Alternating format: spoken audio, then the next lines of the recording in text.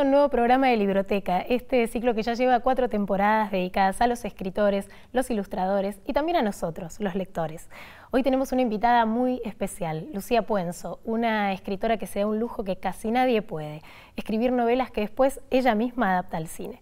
Como siempre, entrevistamos a los chicos que leen, nos metemos en el estudio de trabajo de la artista plástica Sofía Wiñaski, que desafió los mandatos familiares para dedicarse a las artes, y le damos un lugar a los seguidores del programa que se animan a la cámara para recomendarnos sus libros favoritos.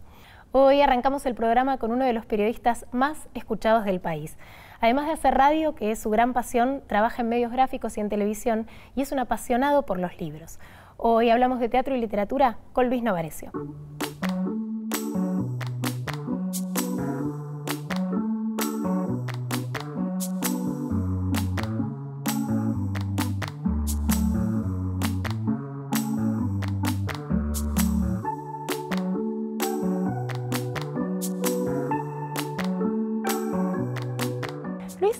Comprando libros? Mucho, sí, sí, sí, compro, sí, sí, a mí me gusta comprar. Tengo suerte que me regalan por, por el trabajo, pero yo voy a comprar. Voy a Eterna, que lo Eterna Cadencia, que lo tengo muy cerquita del canal, y a las librerías de Calle Corrientes. Para mí las librerías de Calle Corrientes de viejos son de viejos. Sí, ¿Seguís buscando libros? Muchos, sí. sí a mí, aparte, me gustan las librerías. No hay muchos lugares de lo que yo conozco en el mundo con las librerías de calle Corrientes. Para mí es un placer. ¿Y qué fue lo último que encontraste en librerías de viejos? Compré las obras completas de, de Molière. En, yo leí mucho teatro. En mi casa era una familia muy teatrera. Y hay una colección de Aguilar, de taparroja dura, este, que en alguna de las mudanzas desapareció. Y lo encontré acá en, Corrientes y poner Uruguay. ¿Encontraste la misma edición la misma edición, que perdiste? La misma edición, la misma, que son hermosísimas. A mí me parece que el libro es un objeto, a mí me gusta el libro como objeto. Y entonces tengo ese recuerdo y lo compré. Me acordé mucho de mi viejo que me lo había regalado. ¿Y trajiste algo de teatro? Sí, traje, traje Pirandelo, traje Pirandelo. Esto es seis personajes en, busca autor. Para mí es una de las obras más increíbles de, de Pirandello. Y seis personajes es la historia de seis personajes que están actuando, eh, mejor dicho, es una obra que están actuando y entran, irrumpen en un momento en el escenario seis personajes que le vienen a reclamar al autor que no tienen final de su obra. Entonces los actores que están ensayando dicen, a ver, estamos ensayando, que esta gente se vaya. Y se mezclan los seis personajes, que tienen una historia dramática estupenda, se mezclan los seis personajes con los, actores y se discute sobre... Pirandello es un gran cuestionador de la relatividad, de la, de la mejor dicho, el absolutismo de la verdad y él es un relativista perfecto. Y bueno, y es, esta es esta obra. Y además es como un cuestionamiento del propio autor en la obra. Es muy interesante. Por ejemplo, en esta noche se improvisa en, la obra, Pirandello marca que la obra en un momento se hace en la entrada del teatro, en los palcos y en el propio escenario. Entonces es como romper, pensá a principios del siglo pasado, romper lo que era el teatro clásico y sobre todo el teatro clásico italiano, y él se plantea cuál es el sentido del autor.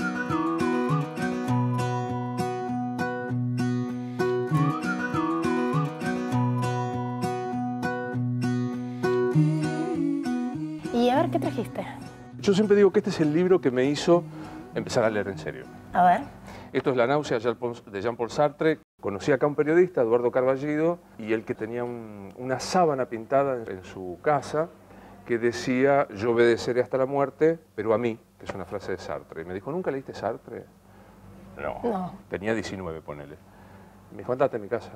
Andate de mi casa, te echó. Me echó, me echó. Y entonces me acuerdo que vine acá en Buenos Aires, me compré este libro, le digo, necesito leer Sartre. Era un pibe, me dice, ¿qué? No sé, no tengo idea. Me da, y me regaló la... a entrar a la casa de mi amigo. Tal cual. Y me hizo, me regaló, la, la, me regaló, me vendió la, empleada la, náusea, que es un libro que para mí fue iniciático, digamos. A partir de aquí este, empecé a leer mucho filosofía, que es lo ¿Y por qué crees que fue iniciático? ¿Cuál fue el impacto que te generó esa lectura? Este, la, náusea es la historia de, este personaje en un lugar que no se sabe exactamente dónde es, con un, eh, con un, hombre que está eh, ordenando los libros de manera alfabética eternamente en una, en una biblioteca, que después va a ser acusado de un crimen tremendo. Y es la gran pregunta sobre el sentido de la existencia. O sea, me parece que lo bueno de Sartre es que es un gran novelista, porque cuenta un cuento de una interpelación de todo lo que te pasa enorme. Sí, hace una bajada de línea del existencialismo tremenda, todo el tiempo. Exactamente. Entonces, pero es el existencialismo llevado a la, no al ensayo de él, este, el existencialismo humanismo, o a lo de, qué sé yo. Este, no, una trama y a personajes. y eh, ahí me rompió la cabeza. Y después me metí de vuelta en el teatro, porque Sartre tiene un teatro increíble y demás, pero bueno, yo digo, a partir de este libro, que lo habré leído a los 19, empecé a leer. ¿Y crees que es una lectura accesible para un pibe de 19 hoy? Más vale. Sí. Más vale, pero recontra accesible. Que le va a romper la cabeza igual. Pero mira, traje por ahí que está la República de Platón en algún lugar, creo que lo traje. Ahí está. Esto, bueno, esto es una edición que compré acá. Cuando vos te dicen, eh, tenés que leer la República, es inaccesible. Y vos lees República y es un diálogo entre, entre Sócrates y sus discípulos. Y es una lectura, es un, diálogo, es un diálogo absolutamente accesible, no hay terminología complicada. Entonces yo digo, leer filosofía, que insisto, me gusta mucho, leer Sartre, leer este, La República, leer Nietzsche, leer, este, qué sé yo. Este, bueno, hoy, hoy este, pensaba en algún filósofo moderno, no pude traerlo porque trato de traer menos libros. Digo, Michel Onfray, que es un filósofo francés que se hizo muy popular que reivindica una corriente que a mí me, importa mucho, que son los cínicos y los sofistas, muy mal vistos por la, la filosofía clásica. Y el tipo escribe de manera muy accesible para un pibe de 18, 19 años la lectura es, es, aparte es un virus. Cuando vos te gusta, te sentís desafiado a leer, incluso si te cuesta, porque decís, voy por acá, voy por acá. Y porque el esfuerzo además después tiene recompensa. Aparte es lindo, digamos. Este, yo soy un lector de los que lee hasta el final los libros, aunque no me gusten. ¿Ah, sí? ¿Haces el esfuerzo? sí, porque... No, no, yo te abandono, soy bueno, una eso, eso serial de libros. Los buenos lectores dicen que hay que abandonar. No sé si buen lector, hay tanto esperando mm. ahí afuera para ser leído que por qué voy a hacer, no un esfuerzo... Hay algunos esfuerzos que sí hago, pero si no me agarraste, eh, no, te solté. Si no me agarraste, te solté así. Pero ¿Y no te, no te da la curiosidad que al final estaba el, cuento? No, no, no, no. Hay demasiada literatura para no me jodas, claro, claro, Pero vos sí llegas hasta Yo trato de leer, por ejemplo, a mí me pasa con un autor que está súper de moda ahora, que todo el mundo le gusta, que es Carrer mí no me pasa nada. Ah, a mí me encanta. ¿Qué no te gustó? Nada, el, el, digamos, leí dos del... Bueno, ubico ¿El los no Sí, no me gustó, definitivamente. Viste que uno empieza a conocer, ¿no? Bueno, Nagrama es una traducción complicada. Eh, sí, castiza, eh, muy, con mucho españolismo. Y me parece que en él pierde un montón. Digo, acá en Barico, que yo lo traje, como es del italiano... Sabemos que estás hablando de mi escritor favorito. No me digas, no, no, sabía que era tu favorito. ¿Lo fuiste a ver ahora en la feria? Lo entrevisté. Qué bueno. En el programa. Seda me parece que tiene, en Barico y la traducción es que como es, me parece que la traducción del español al italiano tiene algún cierto emparentamiento, es como que no pierde, pero las traducciones son complicadas. ¿Y qué te gustó más de esta novela? El camino recurrente, el, digamos, el eterno retorno, lo de Seda, esta historia del eterno retorno del mismo camino, de esperar y de, y de la vuelta, y una historia que parece casi inmutable y en cada ida y vuelta es distinta. Me parece que es una construcción perfecta. Me parece que es un que Barico es, es hace algo perfecto.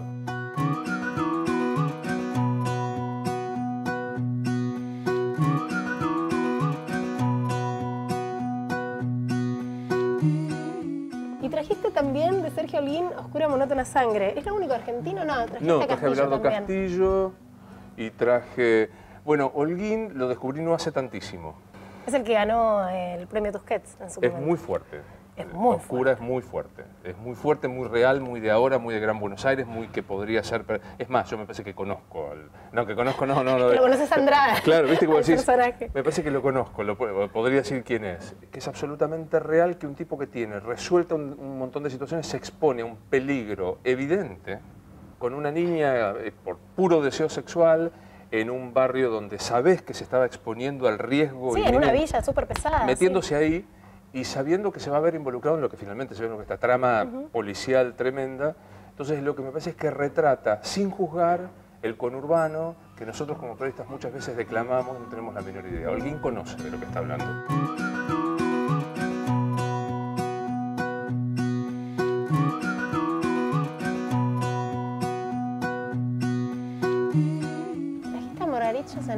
Ah, bueno. Alexis o el Tratado del Inútil Combate, ¿sabes qué? No leí nada de ella. Estás Tengo mucha suerte, Estás despedida. no entro más a tu casa. no entra más. Marguerite Ursenar es perfecta. No, no hay, no hay mucho más, decir, más que decir. Genial. ¿Y por qué este? ¿Por qué Alexis? Me parece un gran libro. Es la historia de el Tratado del Inútil Combate. Alexis combate este, tácitamente, porque nunca está expreso, eh, contra el deseo de, que es homosexual. Y él trata de explicarle a su mujer por qué, lo deja, por qué la deja, diciendo que es amorosa, que es fantástica, que es, y que y no puede, no puede, es un combate inútil porque sabe que está ahí, pero no puede verbalizarlo. Y es un texto eh, genial, y Ursenar es perfecto. No puede verbalizar que su deseo no pasa nunca, por ahí. hasta el final, hasta el final, final, final, con un desenlace que no vale la pena contar, no puede contar en realidad qué es lo que le está pasando y por qué deja esta mujer maravillosa.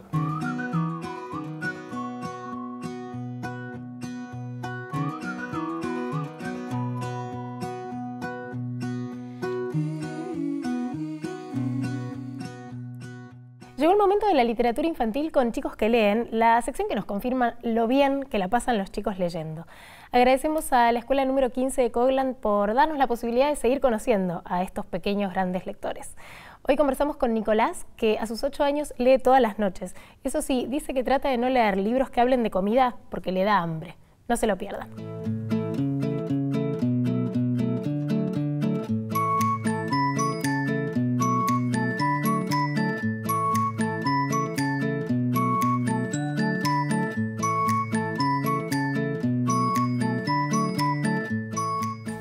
historieta.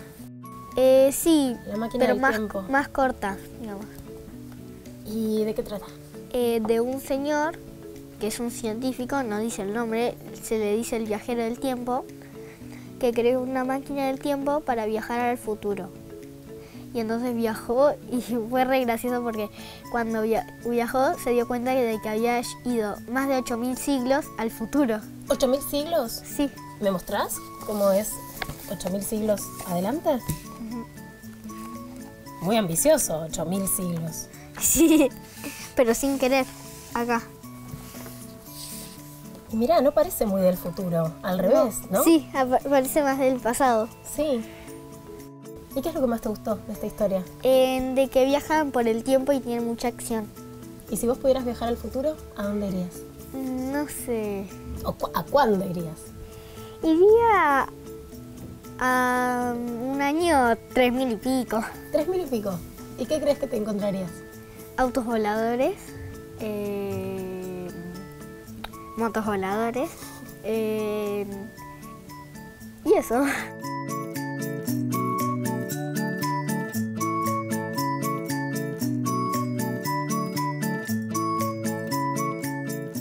¿Y qué nos trajiste? Eh, este.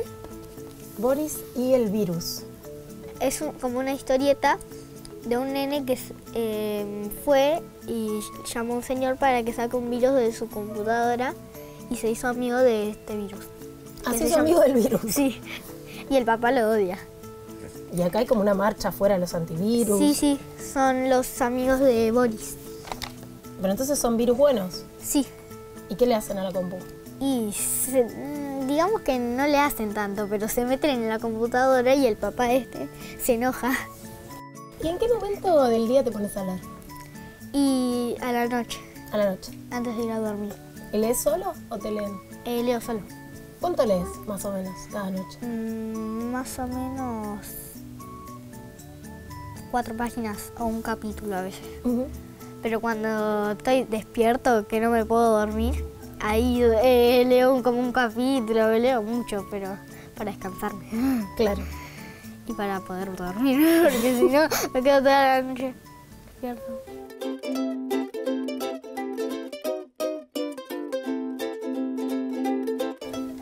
Y a ver, este, el príncipe me da fiaca. ¿Podemos anticipar un poco cómo es este príncipe? No voy a tener muchas ganas de hacer cosas. Es un príncipe que le da fiaca hacer todo, incluso hablar. Le gusta una sola cosa, descansar, no le gusta nada más. Y el rey era su papá. Y él le decía, ¿cómo vas a hacer cuando él sea viejo y tenga que luchar o gobernar? Porque él no sabía nada, no sabía usar la espada, montar a caballo. Si alguien atacaba al, reino. Hasta que un día el papá lo, lo obligó a ser chef. Y él pensaba que iba a ser, lo único que iba a hacer era comer, probar la comida. Así, tenía un montón de fiaca. pero después empezó a hacer todo, cortar las papas, hacer la comida, repartirla a caballo. A ver, mostrame. Acá la repartía a caballo. ¿Y es un buen chef? Sí, según esto sí. Según esto sí. ¿Te dan ganas de comer después de leer el libro? Sí. Sí. Todos los libros que tengan comida me dan ganas de comer después. Por eso es mejor no leerlos de noche. claro, porque te tenés que levantar Sí, a comer. sí. sí. Claro. ¿Qué es lo que te da más fiaca hacer? Y bañarme. ¿Bañarte? Y sí. ¿Sos de los que se resisten? No, Y- baño no. No me baño tampoco, me baño bastantes veces igual. Me obligan, pero por mí no me bañaría nunca.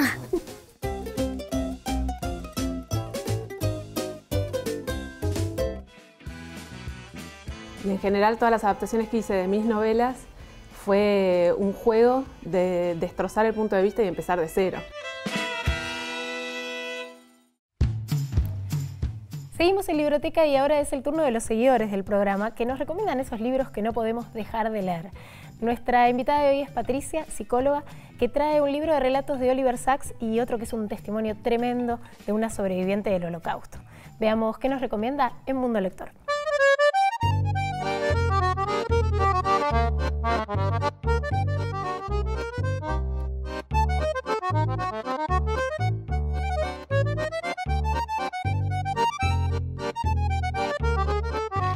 Sección favorita del programa para mí es cuando algún invitado muestra algún libro o su biblioteca.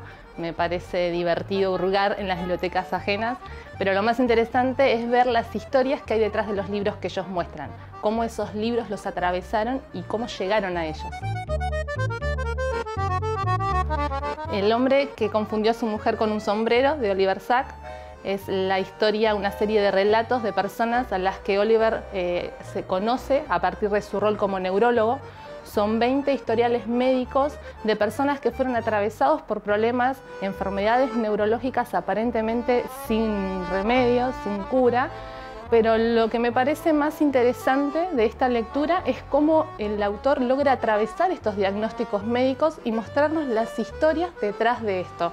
Eh, historias de personas con talentos extraordinarios, artísticos, científicos, y lo que en particular rescato es eso, mostrarnos que la persona no es un problema y que somos seres multihistoriados y cómo, más allá de estos diagnósticos médicos, podemos conocer a estas personas. Y tú no regresaste, de Marceline Loridan Ivens. A los 86 años, Marceline escribe este libro Carta, es una carta abierta a su padre.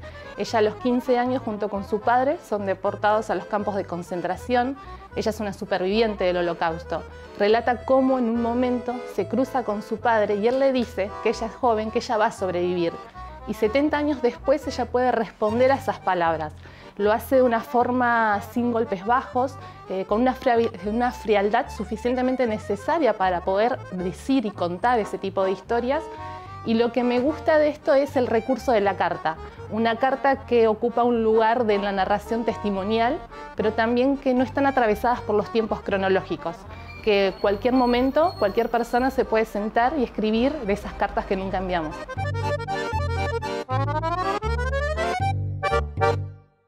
Lucía Puenzo escribió su primera novela El niño pez en 2004 y cinco años más tarde ella misma se encargó de adaptarla al cine y es una de las pocas escritoras que pueden darse ese lujo, publicar libros y después llevarlos a la pantalla grande sin necesidad de recurrir a otro guionista ni otro director.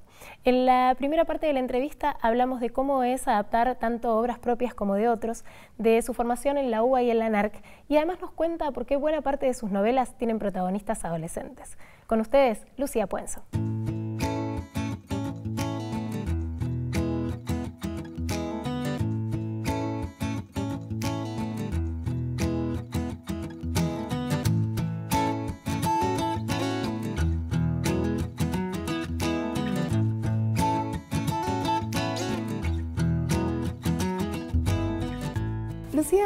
Ser de las únicas escritoras que entrevisto que tienen además la posibilidad de llevar sus propias obras al cine.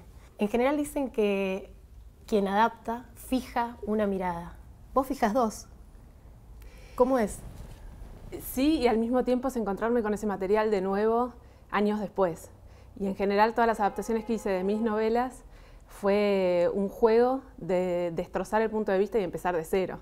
En el caso del niño pez, eh, el narrador es un perro en la novela y la película es un policial negro oscurísimo, porque en la medida que ese perro punk y amoral y cargado de humor y reventado se corre del medio, lo que aparece con la misma peripecia es una película oscurísima.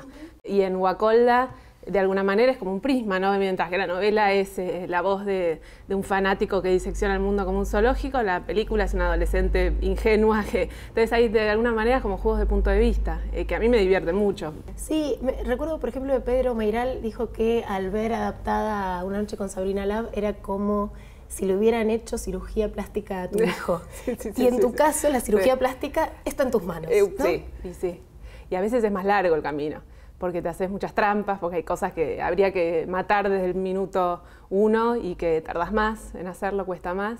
Hay veces que es mucho más fácil, porque puedes destripar sin darle explicaciones a nadie. Eh, eh, pero en general, a mí lo que me divierte es eso, es agarrar un mismo material, casi una misma peripecia, y hacer algún tipo de sacudida en el tono y en el punto de vista y ver qué pasa. Eh, y aparecen cosas distintas. Sí, a mí me, me llama mucho la atención porque supongo que si esos textos los dirigiera otra persona, uno como espectador no le perdonaría esos cambios. Pero como en este caso lo haces vos, está todo en tus manos. Es muy probable, es muy probable. Porque traicionas mucho la versión original. Mucho. A mí me divierte eso. Yo creo que meterse dos años, tardar, hacer una película entre el guion, el rodaje y demás son casi dos años. Y una novela un año y pico tardo ya.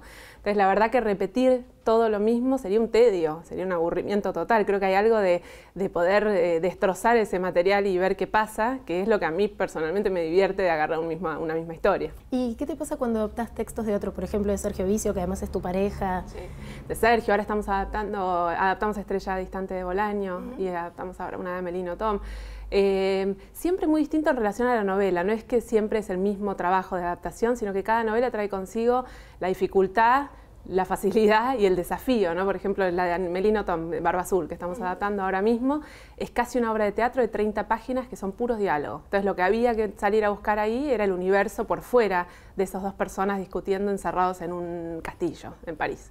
Eh, en el caso de Estrella Distante era gigantesco, lo que había que hacer era encontrar cómo condensar un universo gigantesco de Bolaño en una hora y media. Es mi novela preferida de bueno, Roberto Bolaño. Sí, es que es una novela para adaptar increíble. Estrella Distante fue creo que la... ¿Cómo vas a resolver la parte aérea? Uy, fue eh, todo, es que la este verdad... poeta eh, milico que escribe cosas en el cielo. Y sí, bueno, lo, hicimos. está, está, está, ese avión que escribe cosas en el cielo y eso es precioso para filmar, ¿no? Hay cosas, bueno, toda esa novela es tremendamente visual y lo único que, el enormísimo desafío de adaptar Estrella Distante era justamente ese universo gigantesco de 40 tramas que hay, pero al mismo tiempo la estructura casi era cinematográfica, ¿no? Con, con con esa búsqueda que hace esta persona, ese asesino y cómo termina en ese área perfecta para adaptar, pero cada adaptación trae consigo un desafío particular. Digamos, no es que siempre es el mismo método, sino que un poco hay que inventar el método de cómo te metes en cada novela. ¿Y cuando empezás a escribir ya tenés presente que seguramente eso termine siendo una película? No, nunca. ¿Nunca? diría, nunca.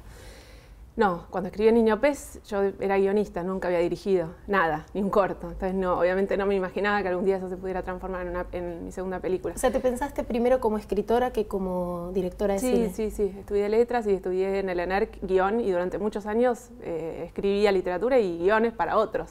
Y lo sigo haciendo. A mí me gusta mucho escribir guiones para otros. Hoy no lo abandonaría porque sea directora de, de mis películas. Es muy distinto acompañar el camino de otro director es como una revancha de poder hacer historias que tal vez yo no haría como directora, pero que sí me gusta mucho acompañar a esos directores en otra búsqueda, ¿no? en otra cosa. ¿Y terminaste letras? Sí. Bien, en general la respuesta. la terminé, la terminé. Fueron seis años de sumergirme ahí en Puan y sí. ¿Y qué hiciste? ¿Qué especialidad? Teoría literaria. Teoría literaria. Al mismo tiempo estudiaba en el ENERC cine, que era todo práctica. En el ENERC filmábamos sin parar. En el viejo ENERC, que era muy pequeñito ahí, que filmábamos con los puchitos eh, de, fílmico todavía, en fílmico, y editábamos en Moviola, pues parece otra vida, pero hace 20 años se editaba en Moviola todavía. Así que sí, era letras era pura teoría y nosotros ahí en el ENERC filmábamos sin parar. ¿Y qué te dio la carrera de letras? Lectura. A mí me gustaba mucho leer. Yo, yo me metí en letras porque quería leer. Eh, creo que si no hubiera hecho el ENERC a la par, algo no me hubiera funcionado del todo. Porque sí creo que en esta cosa enciclopedista y un poco de repetición de lo que uno lee de la academia, ¿no? de, los mismos eh, autores, de la misma teoría. hay algo de lo que aportaba el cine y de poder estar haciendo cosas todo el tiempo y escribiendo que, yo creo que me aproximé más a la literatura por el cine que por, por estudiar letras, digamos. Creo que, que, de verdad llegué más rápido por ahí porque escribía guiones que porque estaba estudiando letras. Bueno, tenés un papá que es un director de cine súper conocido. Claro, bueno, el cine siempre estuvo metido dentro de nuestra casa, sí. ¿Y la biblioteca? ¿Cómo era esa biblioteca? De casa enorme. bueno, recuerdo físicamente esa biblioteca, muy grande, muy desordenada, casa de muchos hermanos, entonces también muchas eh, muchos hermanos con muchas lecturas distintas, por ejemplo el cómic, ¿no? Mi, vida de chiquita fue la historieta y el cómic porque tenía un hermano mayor fanático de eso, entonces sí, era una casa llena de libros. ¿Y nunca incursionaste en ese género, en el de la historieta? Sí, adaptamos con Sergio en esa época. Ah. escribimos, escribimos un largo, escribimos una historieta, un cómic, y también escribimos el largo para llevarlo al cine, y ahí lo tenemos, ese proyecto de, indios que encuentran una nave espacial en, en la saca al cine, es buenísimo. Estamos tratando de armarlo, pero no es tan fácil. Sí, sí. Sí, sí, ya por las dos premisas que tiraste no es tan fácil. Y bueno, por eso tiene que ser un dibujito animado. Consideramos adaptarlo al cine, después nos dimos cuenta que era una locura y bueno, escribimos una, sí, una animación. Bueno, en varias de tus novelas los protagonistas son muy jóvenes, eh, chicas muy jóvenes, chicos muy jóvenes. ¿Qué te interesa de ese momento de la vida a la hora de pensar ficciones?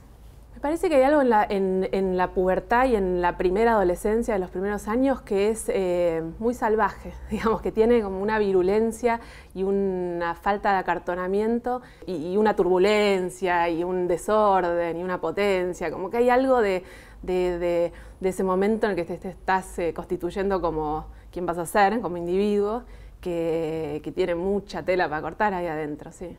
A mí en general no me gusta que sean solo frágiles criaturas que, que, si no me gusta hay algo de empoderizarlos y que sean personajitos que se la banquen, digamos, que, que a mí me, gusta más de la escritura. ¿Y crees que te marcó algún episodio de tu infancia, tu adolescencia, a la hora de pensar eh, esto, ficciones que tengan ese anclaje tan fuerte en ese momento. Sí, no, en, muchos casos yo empiezo a escribir, no sé, cuando empecé a escribir Guacolda obviamente parecía absolutamente lejano de, mi experiencia, de mi universo, pero siempre creo que ahí, aunque estés hablando del nazismo en los 60, digamos que puede parecer otro planeta, muy disimuladamente y con referencias que probablemente casi todo el mundo, salvo los que te conozcan muy bien, van a poder intuir, todo es personal. Digamos, creo que así como hablamos de que todo es político y todo es sexual, creo que todo es personal, más allá de que no sea literatura del yo en primera persona, que, que más o menos disimulado en general, al menos a mí me pasa, escribí sobre lo que, lo que entendés y sabés de alguna manera.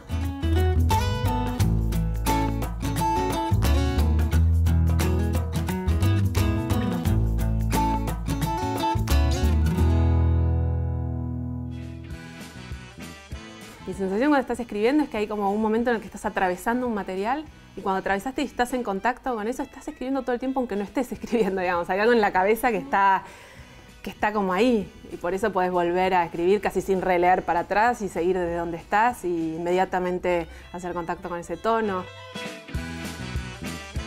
Es una profesión que se maneja bastante por la pulsión del deseo, ¿no? Todo el tiempo yo tengo que generar lo que tengo que hacer. Entonces, Siempre trato de que eso que tenga que hacer me genere placer.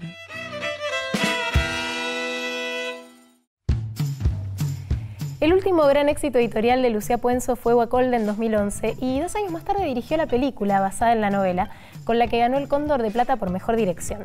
La historia recrea la figura del médico nazi Joseph Mengele durante su estadía en el sur de la Argentina y narra cómo se infiltra en una familia con su obsesión morbosa por la genética.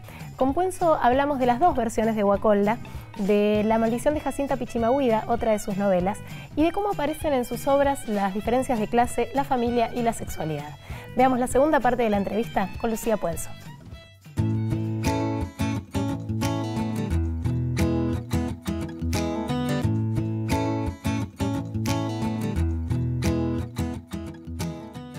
En tus ficciones está muy presente las diferencias de clase.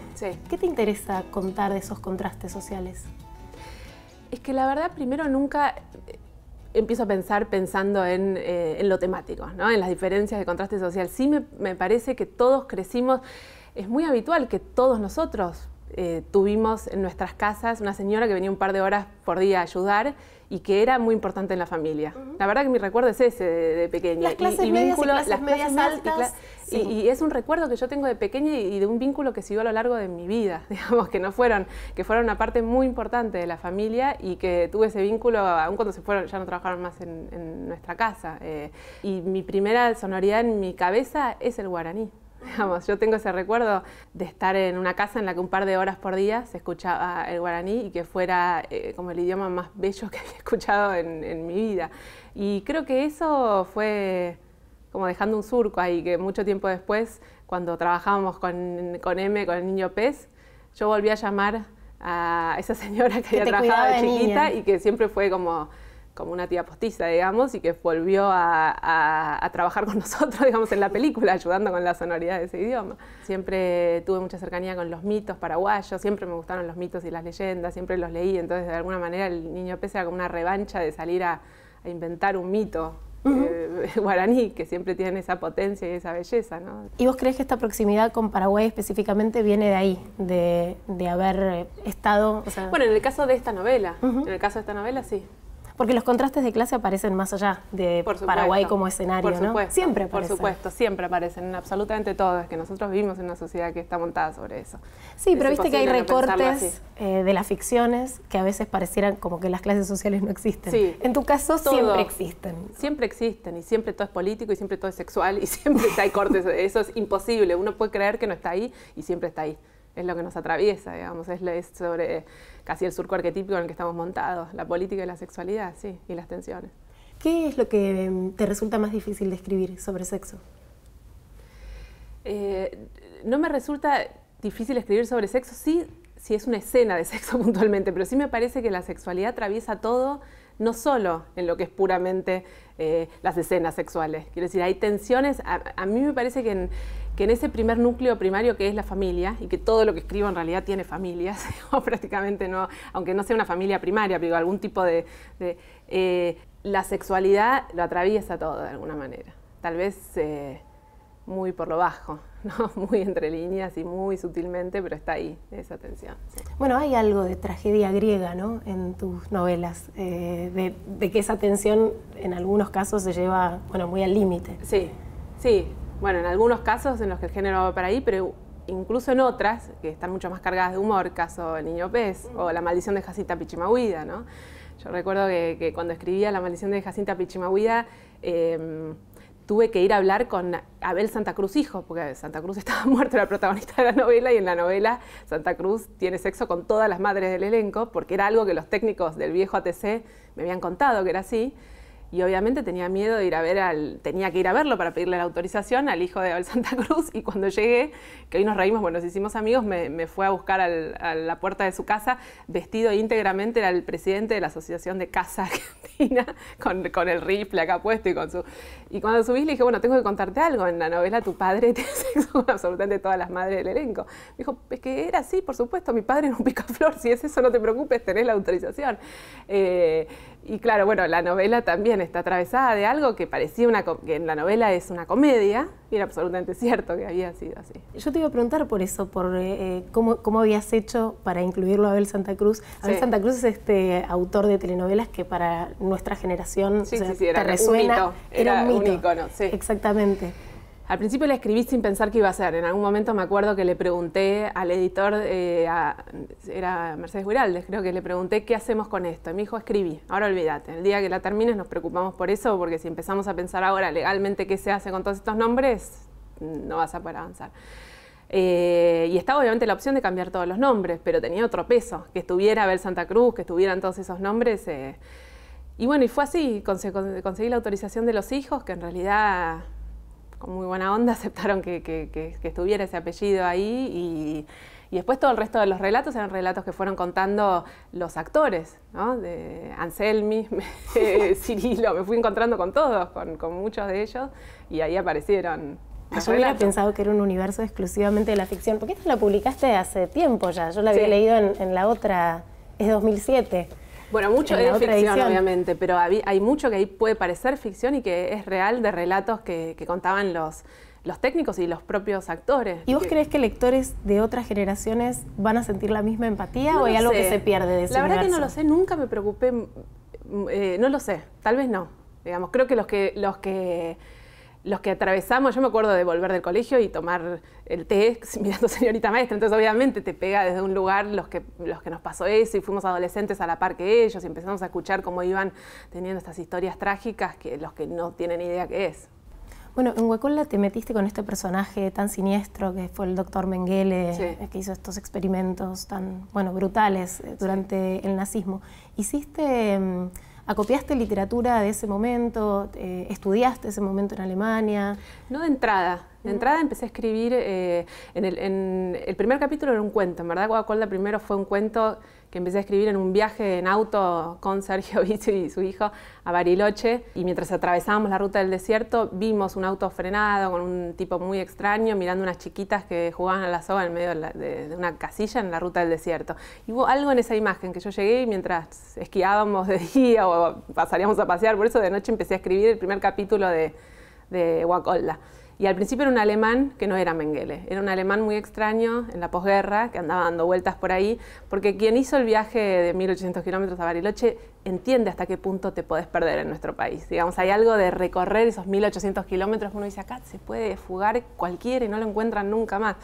Y después se, cruzó con otra idea que siempre le ando dando vueltas, que es em, la omnipotencia de cierto tipo de medicina. Digamos, a mí me, inspira mucho respeto por un lado y mucho temor por otro, ciertos avances de la medicina y cierto lugar omnipotente de la medicina, así como tiene un costado muy noble, eh, que todos sabemos, también tiene un costado que puede meter temor, ¿no? La manipulación genética, las nuevas tecnologías. Y bueno, se cruzaron esas dos ideas, ¿no? Y ahí apareció Mengele. Y sí, en un momento cuando me acuerdo de estando en Bariloche que empecé a salir a caminar y apareció la figura de Nora Etlock, que sí existió, que era supuestamente una agente del Mossad, que apareció asesinada en Bariloche, y ahí me traje, me traje bibliografía que me pasó Carlos Echeverría, es un grandísimo documentalista, en Cabeza Radio Nacional allá, que me ayudó. Eh, y bueno, sí, ahí empezó a aparecer bibliografía, pero no de entrada, después. ¿Y cómo construiste ese personaje, el Mengele? Eh, y primero que fue algo muy similar a lo que pasó después en la película con Alex Brendemul, el, actor español alemán que lo hizo. Tremendamente cuando escribís de un psicópata que no querés eh, estereotipar, que no querés caer en el estereotipo, sino que realmente los grandes psicópatas uno no los ve venir, pues justamente eso es lo que hace la, eh, los psicópatas, que no los ve venir, metiéndome en la, piel de ese tipo. Fue muy tóxico. Yo recuerdo la sensación de llegar al final de la novela eh, agotada, de estar tan cerca de ese animal. De ese horror, sí. Sí, porque hay algo de, que para que él pudiera enamorar a esa familia, que no eran solo niños que eran más inocentes, sino que había adultos que podrían haberlo visto venir si él no hubiera sido una araña. No, si no los hubiera... un seductor, tenía que ser Tenía que ser un seductor y los tenía que enamorar. Al, al, personaje del padre, de la madre, tenía que meterse en esa familia sin que nadie lo viera venir. De alguna manera, bueno, había que salir a construir ese enamoramiento y esa seducción. Entonces recuerdo eso, que los últimos eh, capítulos no lo aguantaba más. Digamos, que terminé y que fuera acá.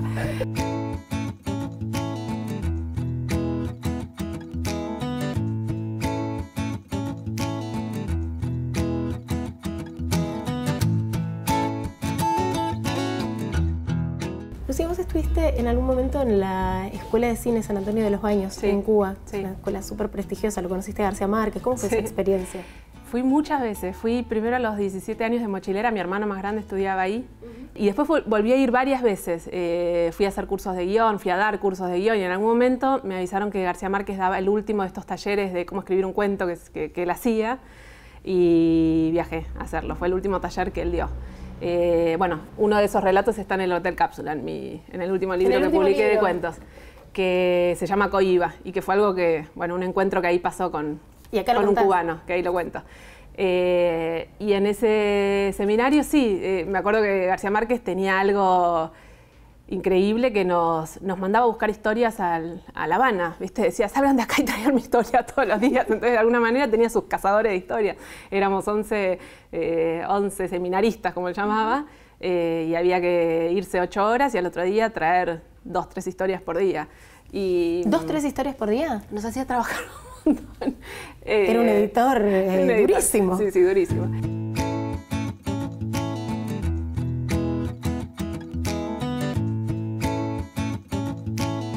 ¿Qué disfrutas más de escribir? Escribir, digamos. En el momento mismo. Escribir, sí, sí, sí, sí, sí. Para mí estos días así de poder escribir y tener eh, y haber escrito 8 o 9 horas y tener 3, 4 páginas que me gustan y eso, el día está cumplido. Digamos, está, y de poder leer y de poder estar metida como en esa, hay algo de esa burbuja en la que te sumergís cuando estás.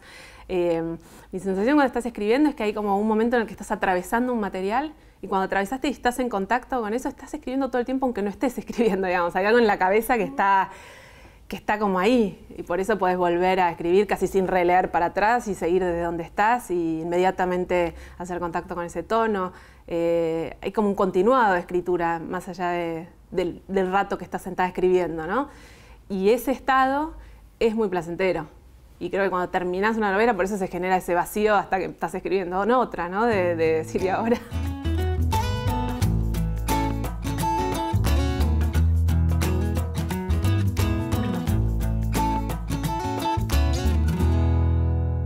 Sofía Wiñaski forma parte de una familia de periodistas, pero lo suyo es el arte. Estudió en el IUNA y dibuja tanto en papel como en objetos, además de ser una gran muralista interesada en la naturaleza.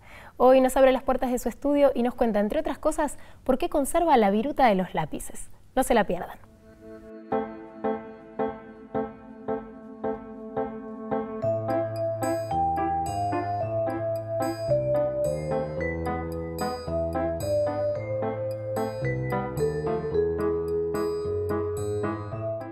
Dibujé siempre desde chica. Mi mamá me mandaba un taller con mi hermana que hacíamos un poco de todo, me acuerdo, como dibujábamos, pintábamos, hacíamos como esculturas.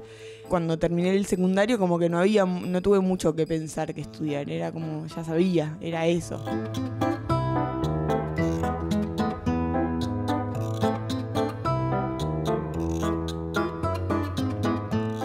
Yo era de provincia y entonces para ir a la facultad me tenía que tomar un colectivo que iba por, por la autopista y me dejaban Constitución. Y en Constitución estaba muchas horas esperando como el siguiente colectivo y ahí empecé a dibujar los árboles de la plaza, que era un, lugar como bastante hostil, y empecé a dibujar los árboles y borraba toda la, todo lo demás. Y empecé a representarlos en las diferentes estaciones del año mientras esperaba el colectivo para ir a la facultad. Y desde ahí que fui, como me fue cambiando el punto de vista, los materiales, la escala, pero seguí, desde ahí seguí trabajando casi con, con los árboles, con paisajes, con naturaleza.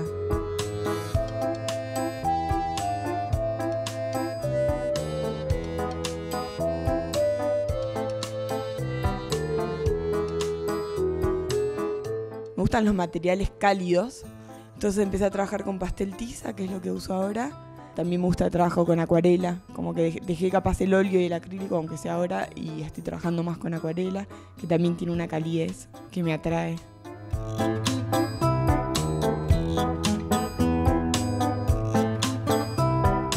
La viruta del lápiz la empecé a guardar, bueno, eso no fue, no fue consciente, ¿no? Al principio dibujaba y tenía un tarrito donde iba sacando punta y se iba acumulando la viruta. Yo vengo de familia de periodistas y siempre pensaba, bueno, viste, en el, periodismo o en, la, escritura se cuentan los caracteres, ¿no? Como para contabilizar el trabajo, ¿no? Cuántos caracteres tenés que escribir. Y yo pensaba en el dibujo, ¿viste? Cómo calcular cuánto, cuántos lápices uso en un dibujo, cuánto tiempo. Es muy, es muy difícil, es una presión que es difícil de calcular los tiempos, la cantidad de materiales. Y había algo en la acumulación de la viruta que me, que me da una referencia al tiempo.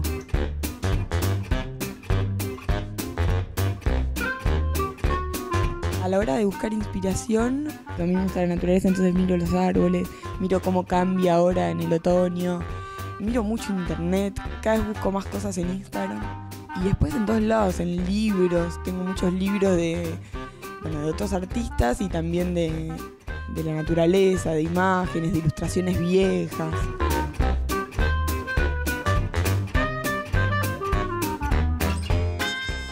Soy un poco desordenada y a la vez ordenada con algunas cosas.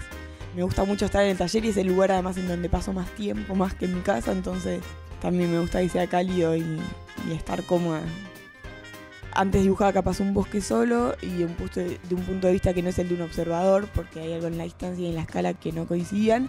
Ahora, últimamente estoy trabajando más como un bosque, como si, como si vos estuvieras ahí parado.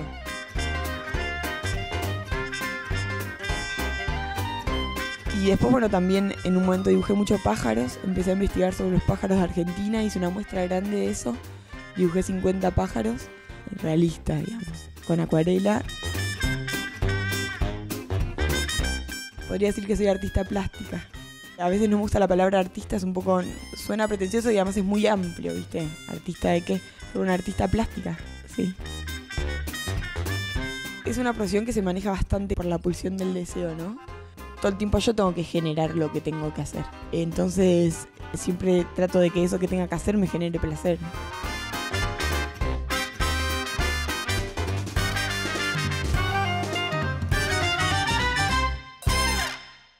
Hoy traje para recomendarles la novela luminosa del uruguayo Mario Lebrero, un libro enorme en todos sentidos, son casi 600 páginas que a su vez son dos libros en uno. Por un lado, la novela luminosa, propiamente dicha, que es el final del libro y son apenas 100 páginas, y por el otro, un diario autobiográfico en el que Lebrero cuenta todo lo que hace para no escribir esa novela, porque se la pasa conectado a la computadora, leyendo novelas policiales y yéndose a dormir a cualquier hora, a pesar de que ganó la beca Guggenheim que le paga precisamente para finalizar ese proyecto. Cualquiera que tenga que terminar un trabajo y ponga excusas y se demore a sabiendas de que la fecha de entrega está cada vez más cerca, se va a sentir muy identificado con la novela y también un poco aliviado, porque es el diario de un postergador profesional que vive angustiado por eso. Además de un gran escritor, Lebrero era un gran lector y habla de la literatura como la mejor droga de evasión, que me parece una definición genial. Y en la novela aparecen decenas de libros que va leyendo cuando debería estar escribiendo, que yo me tomé el trabajo de anotar para leer en algún momento, porque como recomendador de libros, al librero le crees todo. También está el vínculo de él con las mujeres, sobre todo con una ex que sigue siendo su amiga, que lo cuida, le lleva comida, lo acompaña a comprar libros por Montevideo. Es una relación muy afectuosa y a la vez trunca, con la que van a conectar los que tengan amigos o amigas que quieran desesperadamente que dejen de serlo. Es uno de esos libros que te genera empatía todo el tiempo y que es para leer de a poco porque Lebrero se las ingenia para contar una vida mientras te hace creer que no te puede contar nada. Se llama La novela luminosa de Mario Lebrero y lo publicó Random House. Ahora sí, llegamos al final de Libroteca. Muchas gracias a todos los que nos siguen cada semana y después comentan en redes y siguen recomendando libros. Es una alegría enorme formar parte de una comunidad lectora que sigue creciendo con cada temporada del programa. Si se perdieron algún episodio, pueden entrar al YouTube del canal de la ciudad. Nosotros nos vemos la semana que viene con más Libroteca.